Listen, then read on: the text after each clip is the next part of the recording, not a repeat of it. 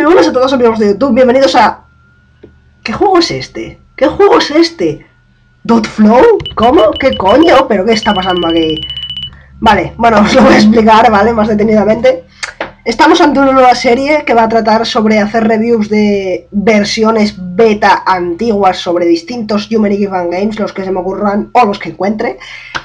Y estamos ante uno eh, que básicamente es Dot Flow. ¿Qué versión de Dotflow es esta? Bueno, pues estamos acostumbrados a escuchar 0.15, 0.17, esta es la 0.03. O sea, es una versión arcaica, pero a más no poder.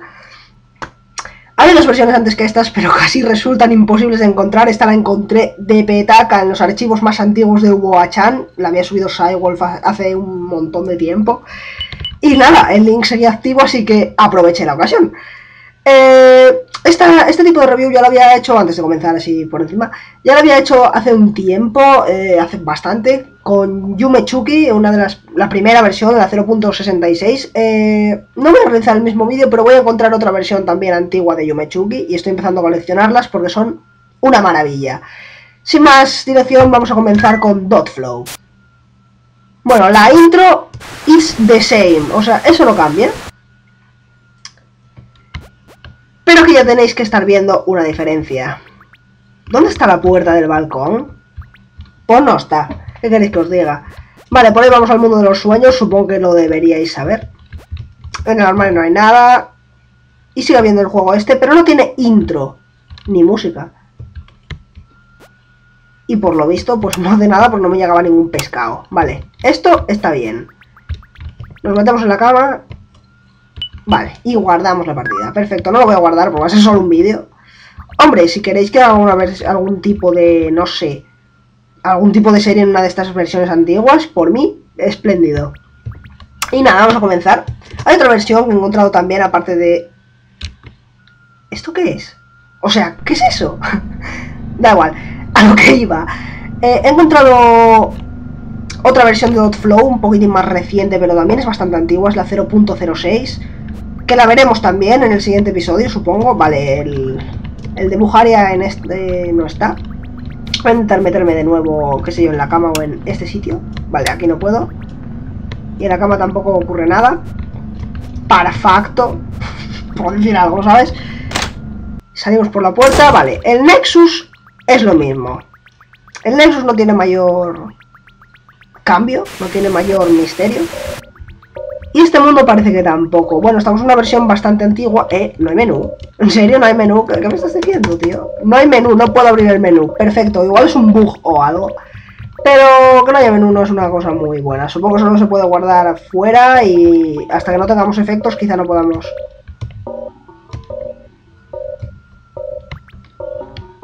¿Quiere decir esto? ¿Qué, ¿Qué pasa? ¿Por qué no puedo? Es muy raro. Quizá apretado el shift, no. Muy raro, tíos. Esto es rarísimo. Estamos en una versión muy, muy antigua, entonces es normal que algunas cosas pues nos descoloquen un poco, como no poder abrir el menú ni utilizar los efectos. En fin. Es por eso por lo que esta serie también merece un poquitín de, de respeto. ¿Sabéis por qué? Porque hay que apreciar eh, los fangames. Los fangames que tenemos ahora están súper avanzados. Dotflow es una obra maestra. Y mirad cómo era antes, tampoco era cosa de otro mundo. De hecho, eh, los gráficos están mucho mejor en esta versión 0.18, se notan más cálidos, por decirlo de alguna forma. ¿Veis? Por aquí no podemos pasar. Eso por lo pronto. O es un bug o algo, no sé. Pero es para que aprendáis a apreciar eh, las versiones que tenemos ahora. Aquí abrimos y no está la puerta. La puerta que debería estar. De hecho, there is nothing here. Y ya está. Vámonos a salir de aquí. Hay bastantes cambios, más de los que yo esperaba. ¿Veis? A esta no la conocemos. Por ejemplo, Who are you, little buddy? Vale, y aquí no hacemos nada. Y esta es nuestra puerta. Ahora sale Face. Vale, no podemos entrar. Eso luego lo cambiaría porque en la, versión de ahora no hay esta cosa. Vale, esto está igual. Aunque quizá... Bueno, ¿veis? Un bug. Un bug. ¿No hay más?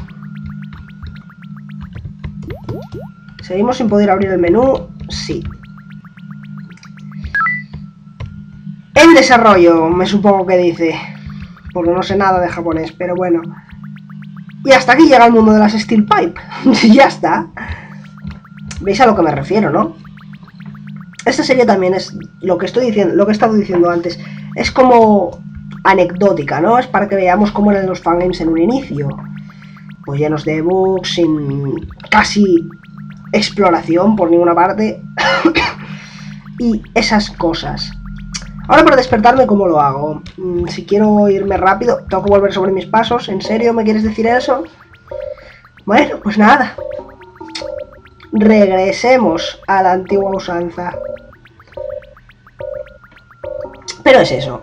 O sea, Dotflow, que ahora pensamos que es tan increíble, todo el mundo adora Dotflow. De hecho, me hace gracia porque mientras estoy buscando este tipo de versiones, veo comentarios antiguos y me parto el ojete. La gente decía que, por ejemplo, Yumechuki era un juego malísimo, que no iba a triunfar jamás. Se nota. O sea, esas, esas afirmaciones han tenido repercusión en el futuro de una manera inmediata. ¿Eh? ¿No puedo volver o qué? Creo que me estoy... Vale, no, sí, sí puedo volver. Estaba un poco flipandillo porque nunca había hecho este tipo de recorrido. Da igual. Pero eso, y Dotflow la gente lo criticaba arriba y abajo. Le daban de palos a este juego, que vamos, flipáis. He visto un comentario que decía este juego jamás triunfará. Es demasiado terrorífico y ahora la gente lo, juega por eso. Quiero decir, hay ciertas cosas. Luego hay un juego que ha desaparecido totalmente de la memoria colectiva de los Fan Fangamers. Era un prototipo de fangame completamente. O sea, lo peor que os podáis imaginar. Era una meta horrible y la gente decía, mmm, tiene un toque muy bonito, seguro que triunfa. Y al final no. Supongo que eso tampoco se debe a al, potencial de juego, del juego en sí, sino de la presentación que hace en primera instancia y de la constancia que tiene. O sea, Dotflow ha tenido bastantes, bastantes versiones. Y Yumechuki más aún. Y con esto quiero decir que realmente los juegos triunfan por azares de la vida, no, no es por porque parece que tenga un toque especial, porque se vea bonito, no, no. Es mucho más trascendental que eso por lo que he ido viendo yo por Hugo Chan, ¿eh? hay ciertas contradicciones que me parecen increíbles en el tiempo. O sea, es que, no sé. Por ejemplo, ahora mismo Flow es un juego que la gente a veces conoce antes que el propio Yumeniki, es decir, se ha hecho famoso. Y antes, pues no, no lo iba tan bien. La gente lo criticaba, le daban de palos, pero una barbaridad. Entonces, por eso quiero animar a muchos developers de los Yumeniki Fan Games diciéndoles que aunque piensen que su juego es bullshit, que lo intenten, que perseveren, porque no se sabe qué vueltas va a dar la vida. Ahora mismo puede ser un juego discriminado totalmente, pero más adelante puede ser lo mejor que le haya pasado a este mundillo. Sin más. Pues nada, oye, hoy no encuentro la piedra esa que estoy buscando. Igual ni está, pero bueno. Y esto es un problema, porque ahora me he perdido y no sé cómo salir del maldito juego. Voy a tener que cortar y quitar el juego. O sea, un poco raro todo. Estaba entre las dos manos, ¿cierto? Pues venga, vamos a mirar a ver. Pero sí, la verdad es que sí. Aquí está. Nunca sabes por qué, derrote, por qué derroteros te va a llevar la vida. Dejadme beber un trago porque tengo la garganta reseca. Eh, extasiados con la música del entorno mientras yo le estoy haciendo un grus grus a esta botella de agua. ¡Hala! ¡Ay, qué me hago! Ya os habéis extasiado bastante. Continuemos. Bueno, esta zona no tiene ningún tipo de cambio, ni esta ni la anterior. Es dot flow a tope. El cambio más visual que hemos visto hasta ahora ha sido la intro, donde pone .flow y cosas en japonés. Vaya, básicamente, donde empiezas. Ha sido el, cambio más drástico porque tiene la portada de, de la beta.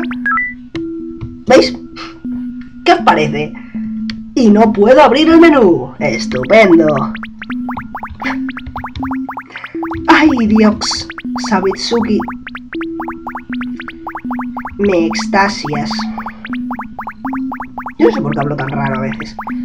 Me da por decir palabras y ya está. Es bueno, así aprendemos todo el vocabulario. Bueno, vamos a ver. No recuerdo ningún tipo de conexión a raíz de aquí.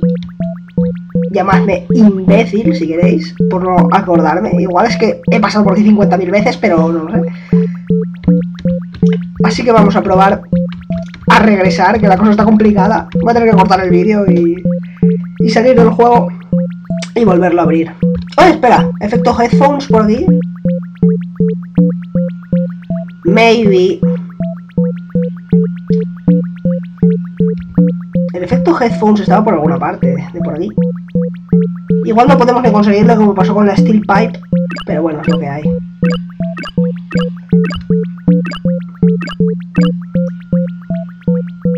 ¡Apártate, cerdo!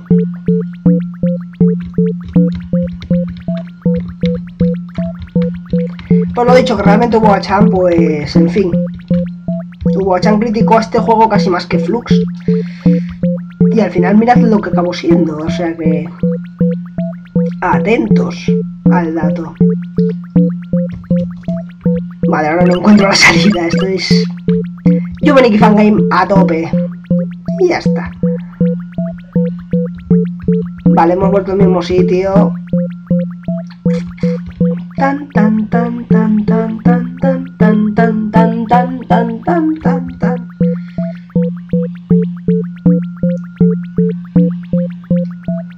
Vale, esto creo que es nuevo. Creo.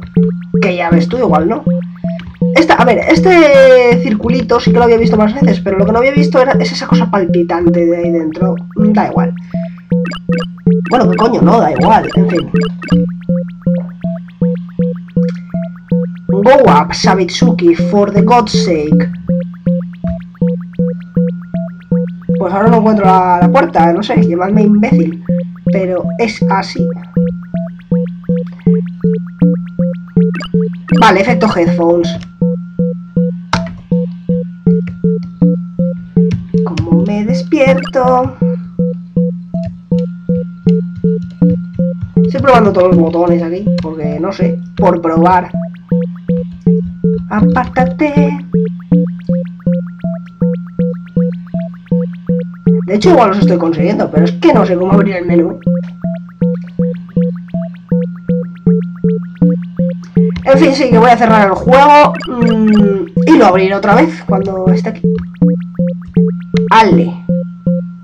Bueno, no, claro, es que si no encuentro la salida no voy a poder guardar guardar los efectos para que los veamos si los tengo. Que no los tengo, no sé, aún lo dudo.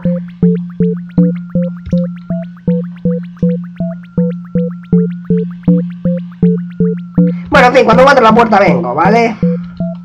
¡Yupi! No estaba tan lejos. Vamos a ver si saliendo a la habitación podríamos ver los efectos. Seems not, people. Seems not. Pues yo ahora no sé cómo despertarme. Francamente. ¿Os imagináis que tengo que pasarme todo el juego así? Da, da igual. Vamos a ver los mundos beta estos de por aquí. Bueno, el de los ojos empieza igual que siempre.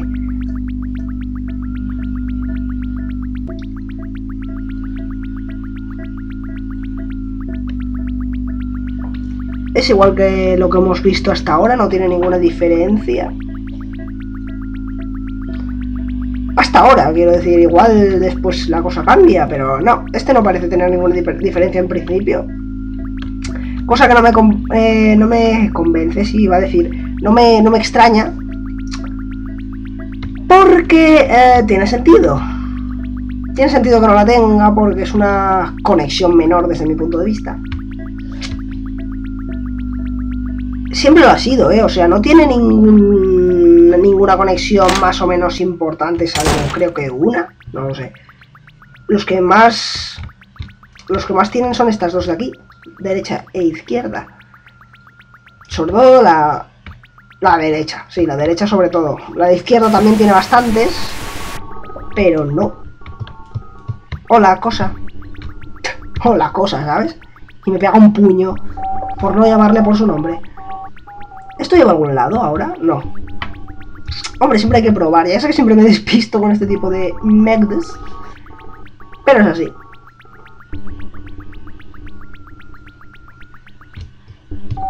Vale, esto de momento no hace ningún... ¿Qué? No te había visto, cerdo. Fuegos factuos. Bueno, pues vamos a dar una vuelta así en, en horizontal y creo que lo iremos dejando por aquí.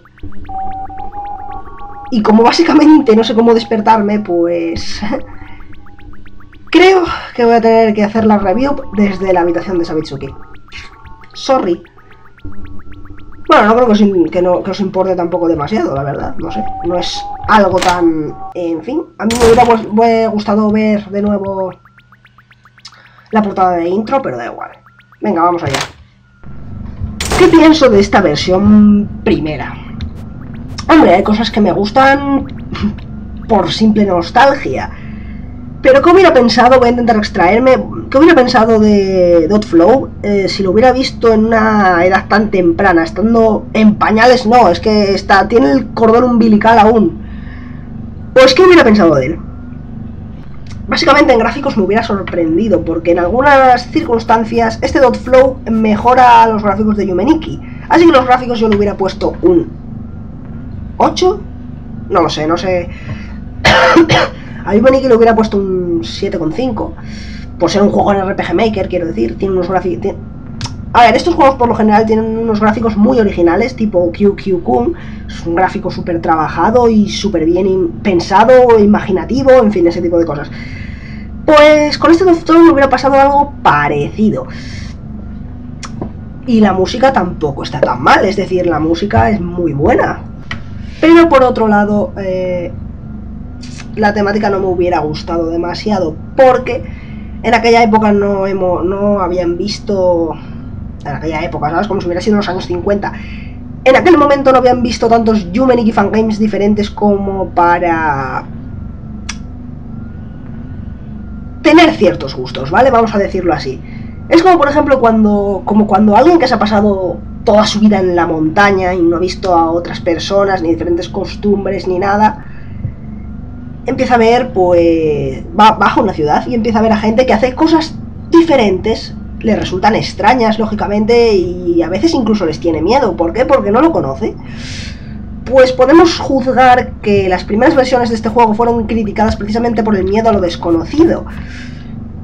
Los Yumeniki fangames que habían visto eran bastante parecidos a Yumeniki, y aunque Yumenchuki tenga sus diferencias con, con el original, tiene una atmósfera bastante más parecida que este Dot Flow. De hecho, este Dot Flow casi parece, mm, ¿cómo decirlo? agresivo. Mientras que Yumeniki era un juego de aparente tranquilidad, aparente calma, aquí no vemos esa calma, aquí vemos más bien agresividad. Quiero decir, entras en el mundo de los Steel Pipes y lo primero que ves es una vara ensangrentada. Entras eh, al mundo de las notas musicales y lo ves oscurísimo y además, no sé, te puede dar incluso hasta pavor eh, dar vueltas por ahí. Tened en cuenta que no, no habían visto tantos Yumeniki fangames y por tanto eran más inexpertos en eso de saber cuándo iban a pasar las cosas. Por ejemplo, yo, desde que he estado subiendo vídeos de YouTube eh, a, YouTube de los Yumeniki fangames, he aprendido muchas cosas que ya presupongo antes de que pasen. Por ejemplo, no sé, te viene un Tori Ninja y sabes que te va a encerrar, ¿vale? Ese tipo de cosas. Pues ellos no lo sabían. Quiero decir, es normal que estuvieran un poquitín atemorizados por el juego en sí y que no, llevaran también los Screamers o bueno o los Tori Ninja como los llevamos nosotros. Que esto también lo tiene Yumeniki, vale, pero es que los Tori Ninja de aquí son más sangrientos, tienen una cara un poco menos amigable. Las Tori Ninja, dentro de lo que cabe, son graciosas, quiero decir. Vale, las Ninja, pues sí, los Kaibutsu son más violentos como el juego en sí. Así que en temática de historia yo le hubiera dado menos, le hubiera dado mucho menos que Yumeniki, le hubiera dado un 3, una cosa así, aparte en bugs, aún tiene muchos bugs esta versión, mm, no tienes los efectos realmente propiamente dichos. Un japonés pues habría visto eso y dirá, vale, ¿cómo consigo abrir el menú? Ese, es el problema más grave que le veo yo a esta versión, el menú. El menú no se abre. Quiero decir, ¿cómo, cómo te despiertas? Ahora mismo estoy en el sueño todavía, ¿eh? O sea, quiero decir, no puedo abrir el menú le doy escape, no sé qué, todas esas teclas que por definición son propias de estos Yumeniki Games, pues no funcionan. Igual es que no estaba programado todavía el menú, pero aún así no lo sé. En ese sentido, LOL pecó un poco de despreocupado, podría decir, porque no había en fin, no había hecho el menú. Y creo que el menú es una de las cosas más imprescindibles en un Humanic Fan Game. Más imprescindibles no. La más imprescindible, porque entonces cómo te despiertas, cómo haces ciertas cosas. En los juegos de RPG Maker 2003, pues ya no importa tanto, pero quiero decir, el menú sigue estando ahí. Sigues cogiendo efectos, que es el máximo objetivo de estos juegos. Conseguir efectos o conseguir orbes y comprobar cosas y hacer ese tipo de... Es un falso RPG después de todo. En fin, entonces la nota final de este dot flow sería pues una especie de 6,5 al menos. Y yo soy demasiado... Ojo, demasiado tal. Demasiado... ¿Cómo decirlo? Demasiado buenazo dando notas. Así que realmente... Mmm, sería mucho menos. A la gente le, asustaría un juego de estas características en aquel momento. Y lo empezarían a criticar y ese tipo de cosas. Después se fue volviendo guay según la gente lo iba probando. Pero bueno, da igual. En fin, hasta aquí .flow versión 0.03. Volveremos con la versión 0.06 en el próximo episodio de esta nueva serie. Y nos vemos en la próxima. ¡Chao!